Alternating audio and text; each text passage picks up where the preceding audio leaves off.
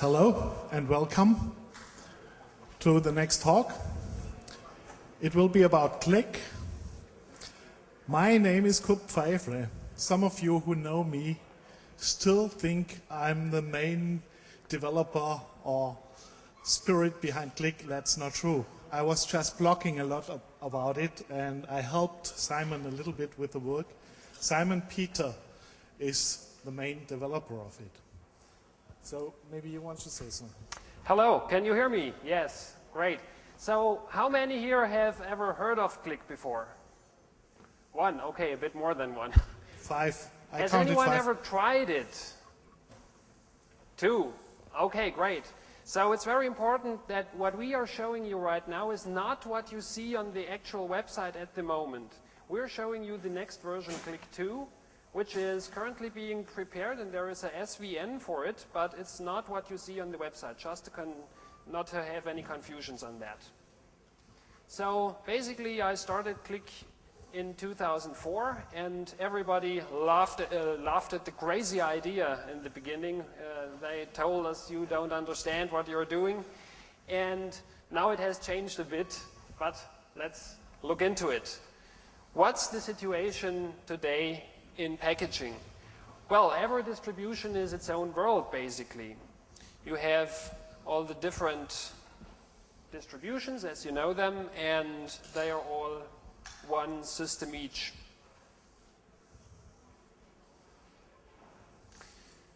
In fact, applications and the system are melted together. They are all the same. They're managed centrally by the distro, and as you can see, every distribution is its little world, including both the base system and the applications. What's wrong with that? Well, nothing as long as you stay in your own world. This model works very well if you use what comes with your distribution. But there are some complications, and I want to just mention a few of them. What if you want to test a latest bleeding edge version of some software that does not come with your distribution? And you also don't want to risk to break your system, of course. What do you do? Well, usually you go to some download page, and if you're lucky, you will find packages for your system that you're running. But in this case, I do see three distributions, but mine doesn't happen to be among them. So what do I do now? Two, now maybe I have found this application, I have installed it on my system, and now I decide I want to try out a new distribution, want to try out a new system. What do I do with the applications? Well, basically, I have to download everything again. Do it all over again.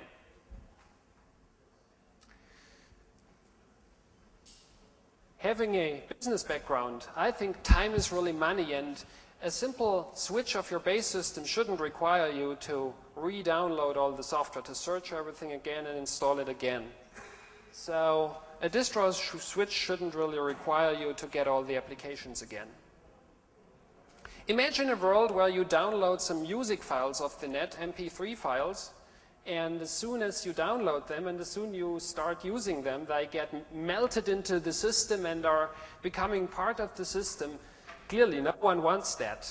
A music file just runs on top of the system and you can move it around as you like, and I believe software should be the same. Maybe you want to use OpenOffice, the stable version, but you see this great next version upcoming and you want to give it a try without risking that something breaks. You want to run both in parallel. Well, if I want to do that currently, I probably have to ask an expert. What does he tell me? Something like this, which I, being a rather non-technical person, don't necessarily understand, but I sure can type it and look what happens, and usually it looks like this. Some obscure errors doesn't work for me most of the time. Or maybe you want to use an application on a USB thumb drive. As a matter of fact, I'm running around with lots of these every one of these has a different distribution on it, and I want to just put some add-on software to the thumb drive. Currently, not so easy. Well, Windows can do it with some help. It's called Portable Applications, and it's getting quite some uptake at the moment. If we look at macOS, it can do it out of the box most of the time. And Linux,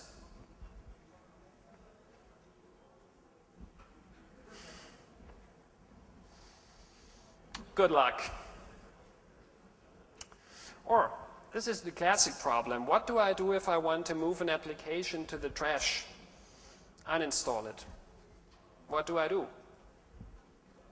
No, I mean completely, including all the zillions of dependencies and libraries and other stuff that got installed together with it. And we'll do questions in just a few minutes. Well, if you did not use what was part of your distribution, if you went outside of the package management of your distribution and you installed just some random stuff off the net, you're pretty much out of luck at this point. And you can never know where the stuff went and, and how to get rid of it, at least if you're not a very technical person. Okay, so maybe this approach here, where the distribution contains both the base system and the application in, in one block is maybe not the greatest model of all times, at least not for all users and for all users. So, here's a suggestion we would like to make. We really think it should look like this. You have different base systems and the applications run on top of those. The base system, the distribution, being centrally managed by whatever tools the distribution provides. This is basic libraries, stuff that the end user typically doesn't care about as long as it runs, and it should be managed just like it is managed now by the distribution. On top of that comes the end user software, and we think the most important aspect of this is the clear separation between the two. So you have the base system, but on top of that you have the end user applications which should be even easier to manage by the user himself.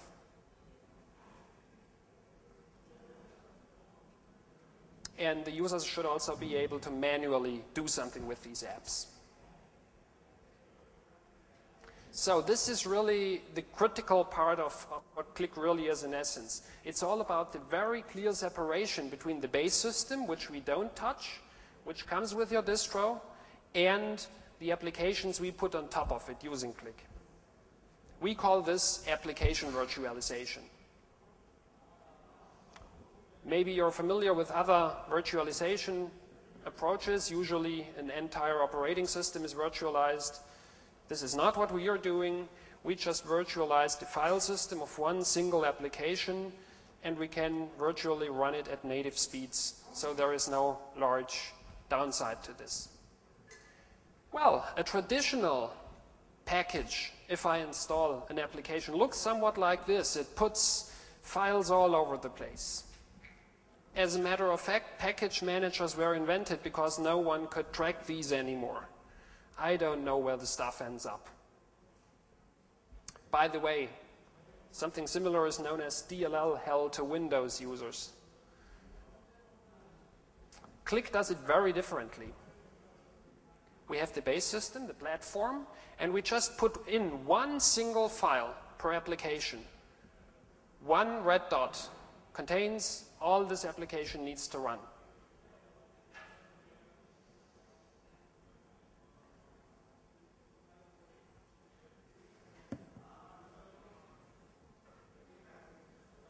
So, this is really the most central aspect of this talk and of klik. Please, if you want to remember just one thing, this is the thing to remember. One app, one application equals one file. This is what we are all about.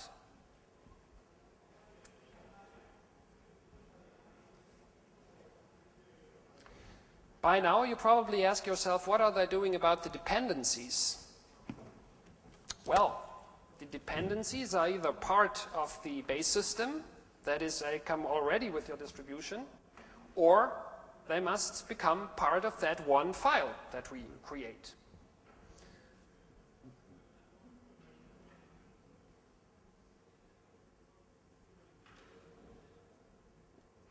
So I think we have some lag in the animations now. Maybe it helps to restart OpenOffice. This is a bug we discovered while working with all these animations. Somehow you need to restart it.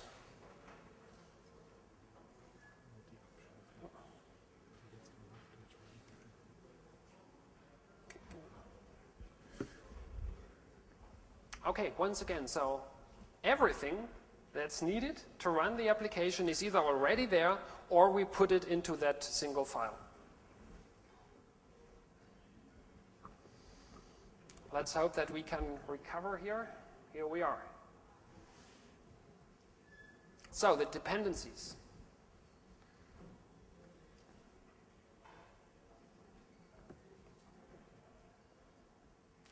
This scheme has some advantages. I want to go very quickly through these. First, obviously, one file, one application is a very simple concept. Even new users can understand it immediately. Very simple. Second, when I have an application in this one file form, I can easily take it and put it on another distribution. It still runs. So no re-downloading of the same stuff over and over again if you're using more than one distro. Third, multiple versions of applications in parallel. It's absolutely no problem to have five different versions of the same program running without requiring the user to do anything special. You can also take the one file, put it on a USB thumb drive, and it just happily runs from there. So no need to copy it over and copy it back or something like this. Just run it right from the USB thumb drive. And finally, if you want to get rid of the application, you simply take the one file and put it into the trash and it's all gone. I will use the remove uh, command. Not everybody uses trash. Okay, there are some more. You can't mess up the base system since we don't touch it the scheme actually saves disk space? This is a question that comes up all the time. Isn't this adding to file sizes in an insane way? No, it is not. Since we are using a compressed file format, and this oftentimes offset the additional libraries and, and stuff that we have to use.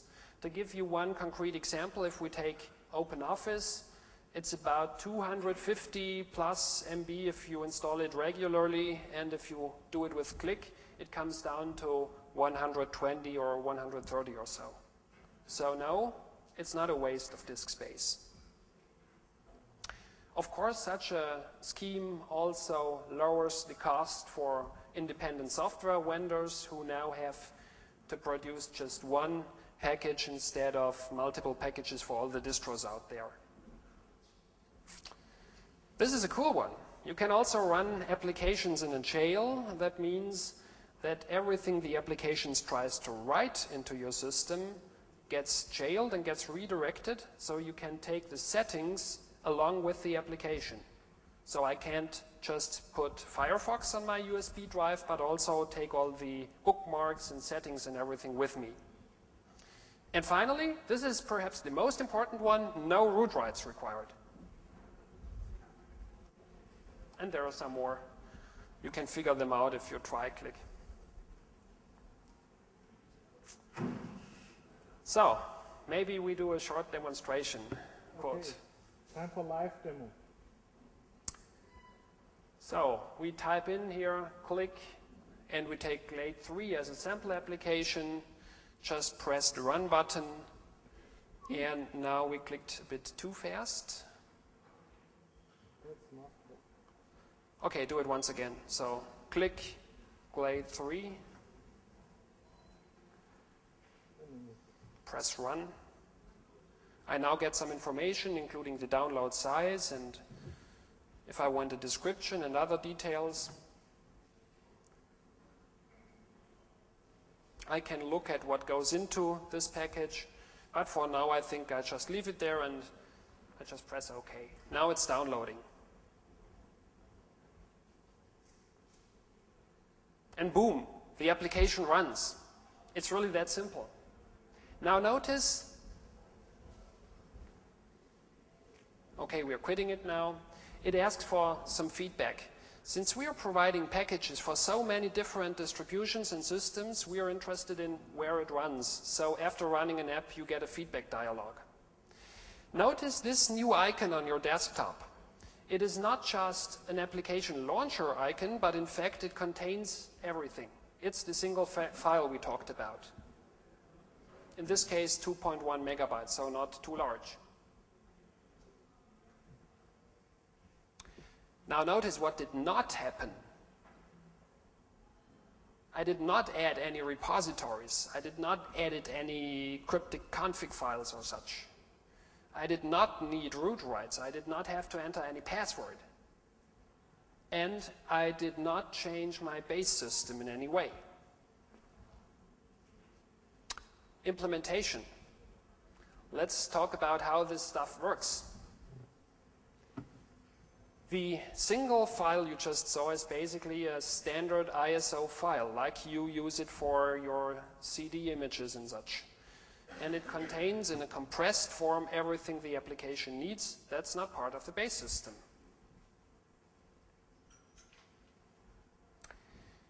This one file, you don't download it from the web as a complete file.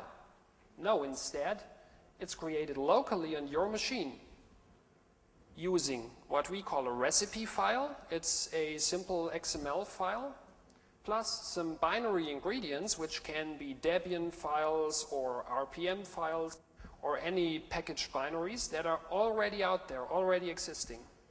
And what the klik client then does, it takes the recipe, it takes the ingredients, and it cooks up this red file on your machine. Now, such a recipe, what does it do? What does it say? In clear text, it could say, go to the Skype website, look up what's the most recent version of Skype, take it, download it, and make this single file out of it.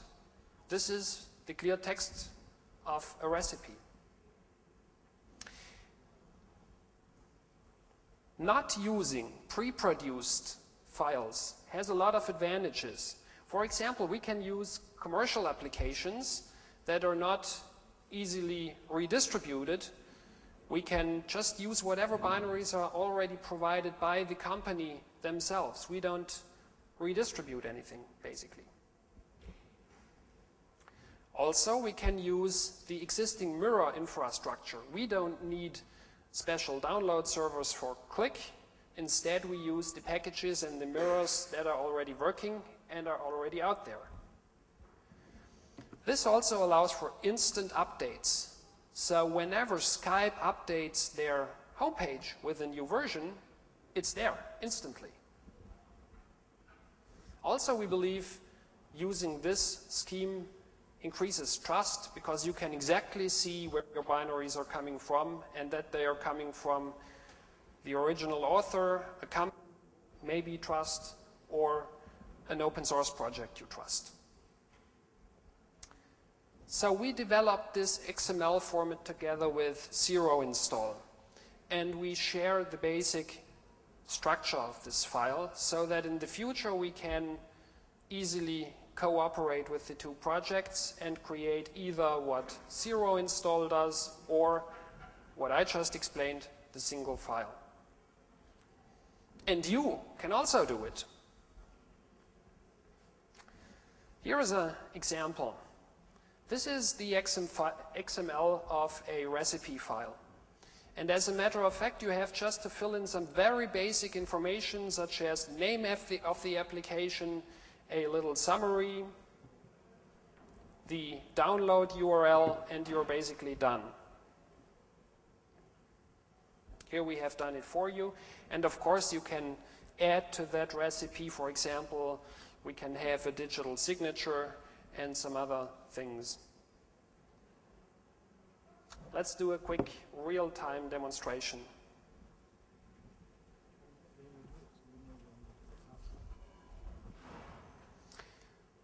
So here I want to package a little game called X4. All information I need is basically the name of the application plus the URL of some binary package that already exists. In this case, I want to use a binary package that's already on my disk. And here I have a blank minimal recipe. Now I will just insert the missing information. So the name of the application goes here. We can add some little description. Goes here. And I take this URL. In this case, it's just one file, but of course, if it's a more complex application, you could, you could have more than one file. I have now saved this, and I will call klik and give it the path.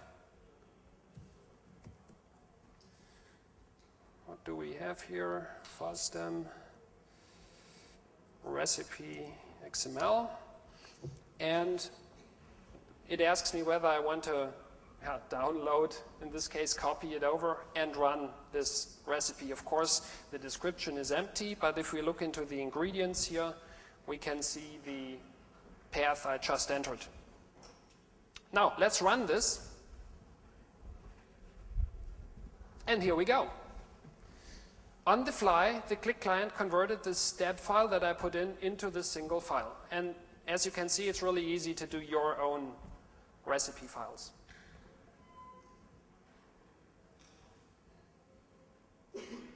Anyone knows how to how to defeat X4? We don't have the time to play the game right now. but he's giving some feedback now so that we know it worked on Ubuntu. If we have a good network connection, it might work, but okay. we don't wait for this. Let's go back to the presentation.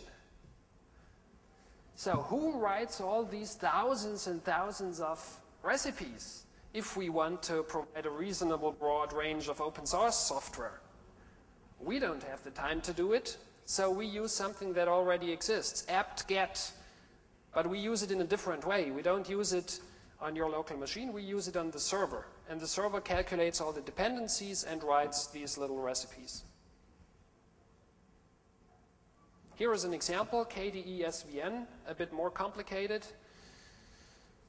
All the dependency resolving is done server-side, so without even touching the recipe manually, we get a working recipe that's calculated to a common denominator of what we expect to be part of every system on the desktop out there.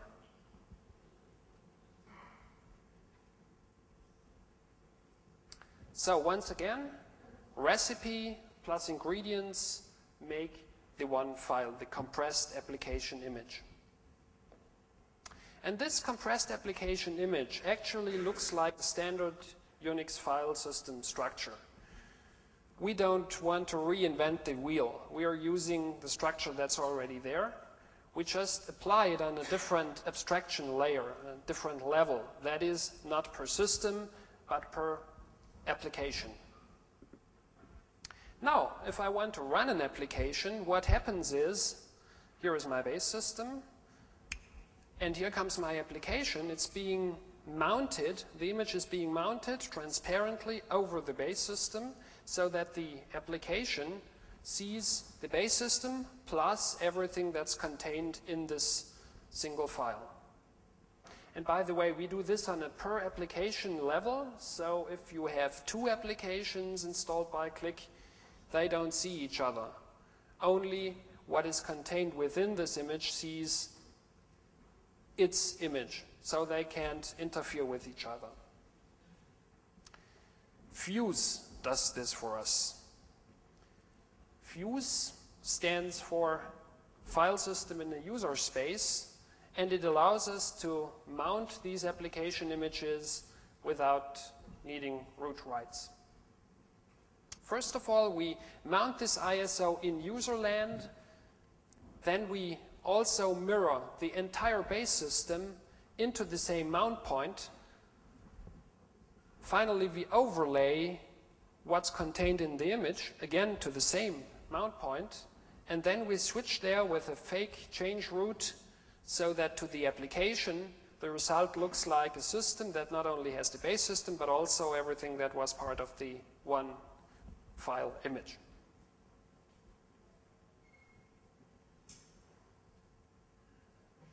So, how portable is this? We're using Fuse, and Fuse is really available for most Unix-like systems.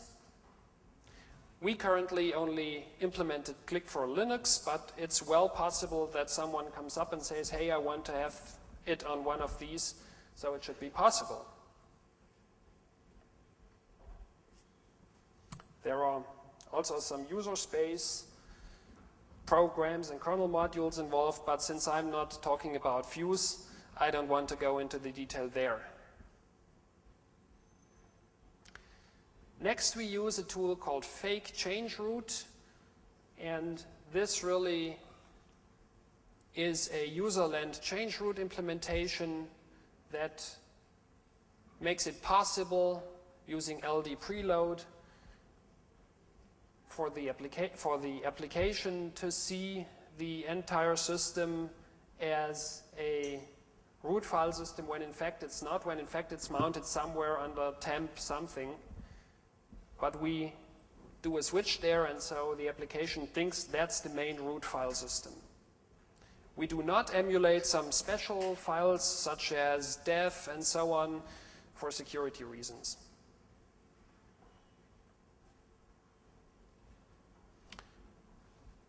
We can also rewrite pairs.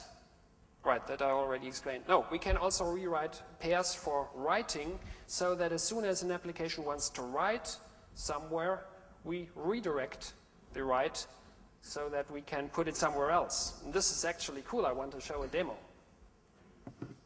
Quote. What do we have here? So, here is our application. I just started it, and you see a new file system that's mounted, Fuse ISO. It's now mounted. And as soon as Kurt closes the application again, the file system disappears. So on the fly real-time mounting. Here we go, it's mounted again. We close the game and the file system is gone.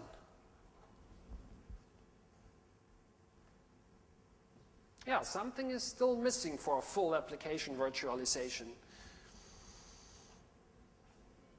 We have the base system, the read-only stuff, but now we want to do something about the user data, the read-write stuff, and that's a writable layer. We put it on top, and this rewritable layer takes anything the application wants to write and redirects it to a directory called app data in this case.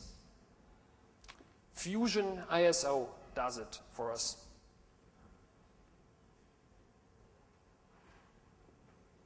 Again, this is the same procedure as before.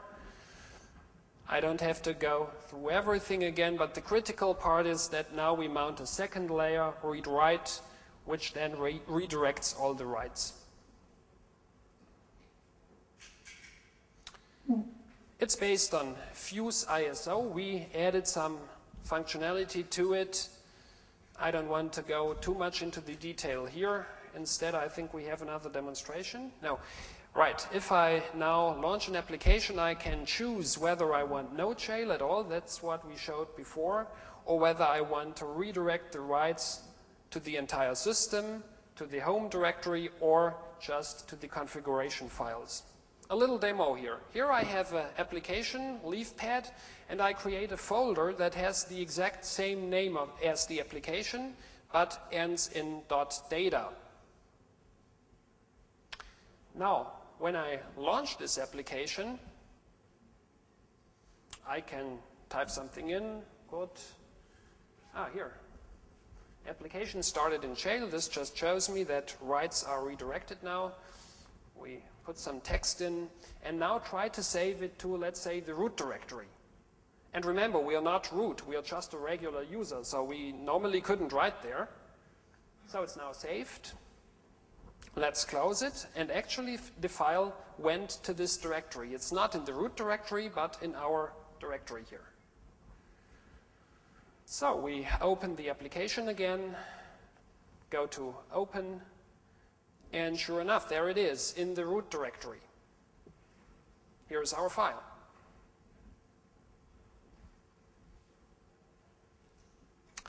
So, a lot of people ask about desktop menu integration. We didn't do that in klik version 1, but the upcoming klik 2 will register downloaded files with your desktop so that they appear in the desktop menus if you wish so.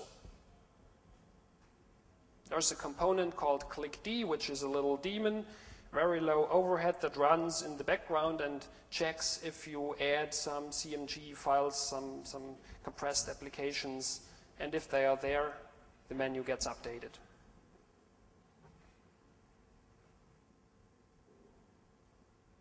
It uses the standard desktop files and integrates the application into the desktop.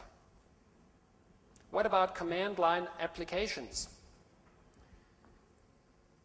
Well, they work right as you expect them to work.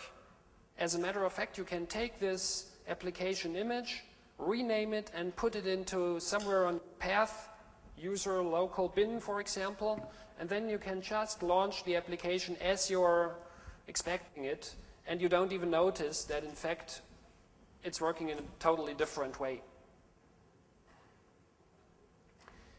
Here are some challenges.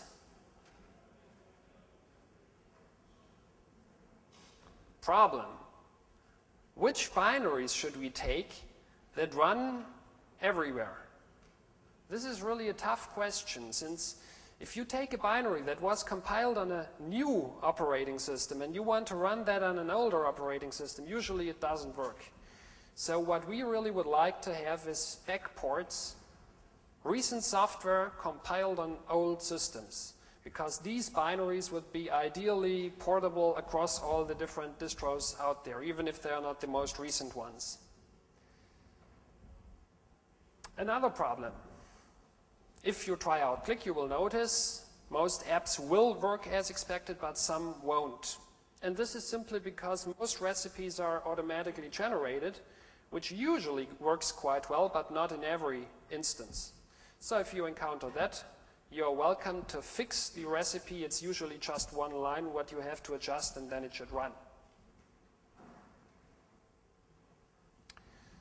Another problem, I hope it's not a problem anymore. Uh, actually, we made quite some progress on this one today, together with the guys from the OpenSUSE build service. We are working on providing nice packages for all the commonly used distributions so that it's really easy to get the client itself running, which you need not only to get your files, but also to run them. Of course, this project is not just ours. We took a lot of inspiration, ideas, and code from a lot of projects and people, and we want to thank some of them. It starts by Apple, who first, at least to my knowledge, put software in disk images. It goes uh, through ISO. Knoppix was a very important inspiration. They were the first one who made it popular to run an entire system off an ISO. We now take this to the application level. There are some others, probably most of you will recognize them. So it's not really our invention. We just took a lot of good ideas that were already out there. And with this, we would like to invite you to get involved in the project. This is a great team effort. We have various people working on different aspects, but some spots are still open. So we are looking for someone to create a nice native KDE front end, for example, or RPM packages. We made some progress on this today, but if someone thinks he can produce great RPMs, please come and see us. Also, of course, we need lots of recipe writers and quality control. So if you want to join the project, you're welcome to do so. With this, we are now at the Q&A session, and I think there was one question up front here, long time ago. Mike is coming.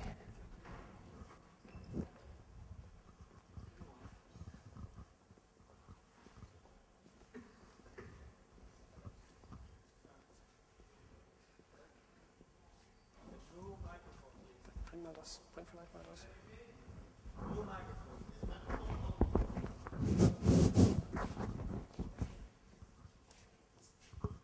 Hello? Yeah? Okay. Um, basically, what you're proposing is a glorified version of static linking. I mean, static linking and dynamic linking is a debate we've been having for decades. What you've also got is it's great on your machine there, but if you take, say, an OLPC that's got a little bit of RAM, a little bit of disk space, not an awful lot else, you can't really afford to have 600 copies of glib and GTK that you would have if you installed, say, some of the GNOME stuff. You also run into the problem of if you don't have all the memory there, because you're going to end up with 20 copies of GTK loaded. And uh. then you've also got the great problem of what happens when I take it out of my 32-bit laptop and plug it into an ARM machine or a Sun SPARC or something. So. Okay, so this is three questions really. The first one was about how does it relate to statical linking? That's not what we are doing. It's compiled in the standard way using shared libraries. All we do is we bundle those into one file that is mounted, and as soon as it is mounted, it behaves just like regularly installed libraries. So it does not mean that you have to link everything in a, in a static way. But you then get all the downsides of static linking and dynamic linking. If I've got um, Firefox and Mozilla, both of them seem to depend on libnss, I think it is. So I yep, now have to this, have two copies. This is true. And it relates somewhat to your second question, which was which libraries end up in the compressed files. Is it really GTK over and over again? And that's not the case.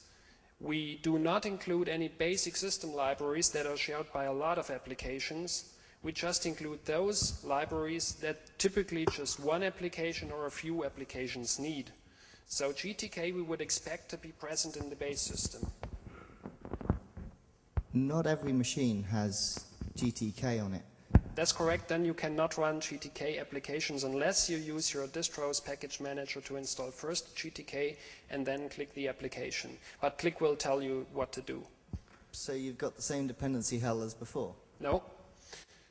We take it one abstraction level higher. We do not check dependencies on a individual file or on a package level. Instead, we check it on a framework level. So we ask ourselves, do we have GNOME? Do we have KDE? Do we have Mono? But on this aggregated level. Right. Questions? And the last one of portability between platforms. Right, uh, great point since, as you saw, we, we thought about these issues. We haven't implemented anything like it yet, but principally you could do two things. You could create specific images for every operating system, but that would not be so nice, of course.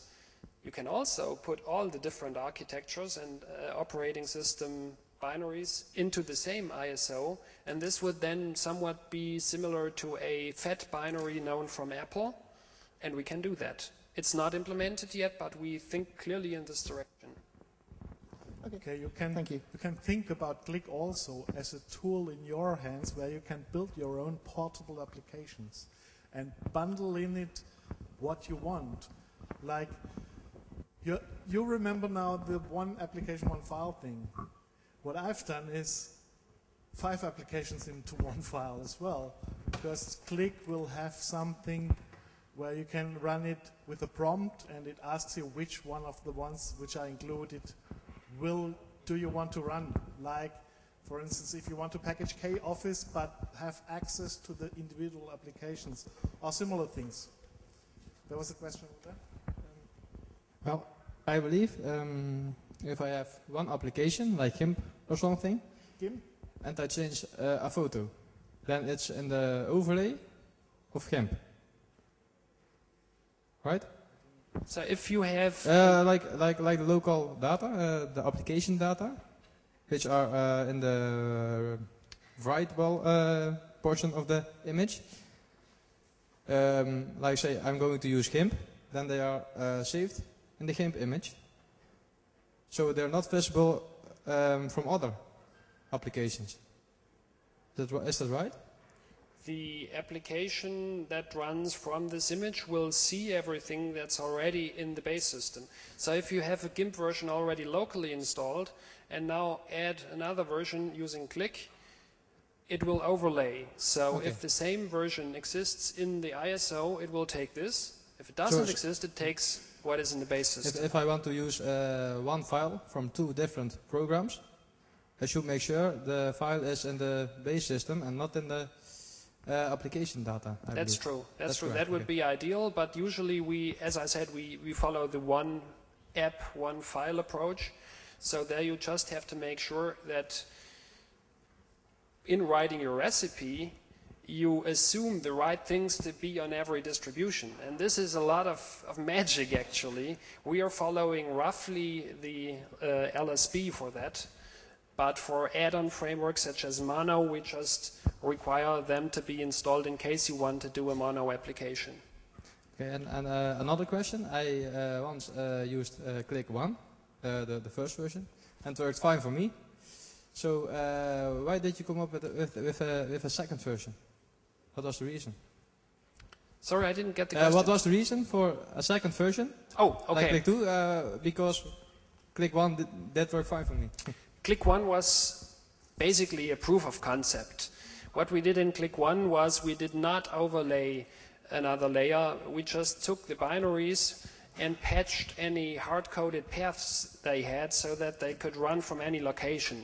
This worked in, in most times, but it did not work in others. And so this is a much, much cleaner implementation.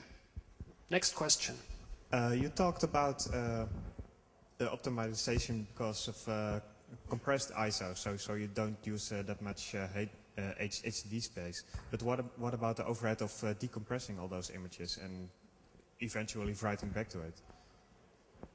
That's that, that's C- uh, C- CPU overhead. So So you're interested in the overhead we produce. yeah, basically because HDD space is uh, cheaper and cheaper nowadays, and the CPU uh, time is uh, yeah it's be- it's it's battery life uh, basically. Well, we haven't done really scientific testing on the overhead we are using, but from day-to-day day-to-day usage, it seems that the overhead is not noticeable in the real world.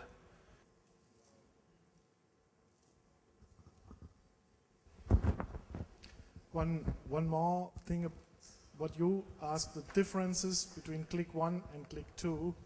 You can read a lot of uh, details in the interview the FOSDEM organizers did with us and published on the website, where we go into the differences between klik 1 and klik 2.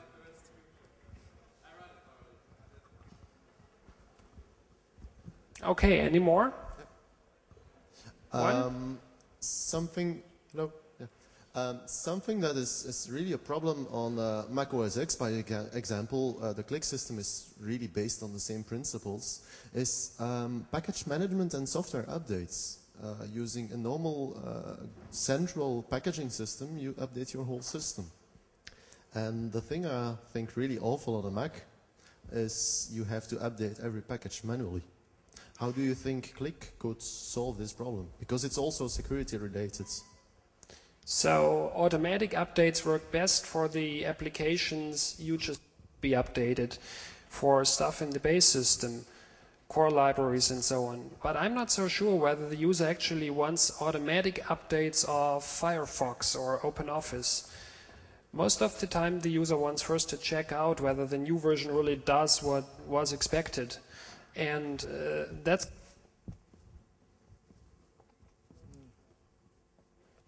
And that and that's why in klik we want the user in charge of the add-on applications. That being said, it would be possible to create a updater application that checks with the web server, the klik server, which application is updated and then would automatically download it. That would be possible. We haven't implemented it yet because we think it's so simple. Just one file that you manually can manage, that you don't really need a full-fledged package system. But it would be possible. Here. Uh, you said that you use the LLD uh, preload to, to create your uh, uh, change root, user level change root. But uh, LD preload is famous because it's uh, easily circumventable, because it's just an environment variable. So as I think this does not protect uh, your user from malicious software. We didn't say it's circumventable. Sorry? We didn't say it is not circumventable. So, yes, if you are an evil uh, packager, you could package something which does evil to your system, but that you can do with RPM or DEB as well. So On the other side, there's no difference. On the other side, uh, you use Fuse on the, in the kernel, which is not really user level because uh, you need to add the, the possibility to, to use the device and the device changes the real mount table of the machine. Trying to use klik in a multi-user environment where tens of users try to install by klik uh, their application, you end up with a mount table with hundreds of items. I think there are more modern techniques like uh, uh, system call, um, system call capturing, like uh, uh, um, VOS or UMView or, or like User-mode Linux. So you can take the system call that access the, the, the, the, the file system and uh, you, can create a, a, virtual mount. And that and, and, a virtual the same you can do for uh, for ch root. In such a way is this not circumventable because uh, uh, you, you don't use the kernel We've designed it in a modular way so that if you have a concrete idea on how to do that, we should talk and we would then implement it. We would just exchange this uh, change root environment by what you propose. Okay. No question about code here. Um, so you could probably install and use the whole thing in a virtual environment with no machine, right? With no machine? No machine. He knows. NX. Oh, wow. NX. Good. So my great question is, so why don't we give uh, every pupil out there his own no machine instance and teach them how to use klik? We don't have all time of the world, so we have to do something. But uh, if you want to tackle that, you are invited to help us. I would definitely try to tackle that. So, are there any teachers in here who would uh, go for a whole instance for every pupil, for every pupil here at school? Any teachers here? Ah, no, wrong conference. I'm sorry, but I try. okay, so thank you very much for coming. We are still here. If you want to discuss some more about klik, uh, we'll be outside. Thank you.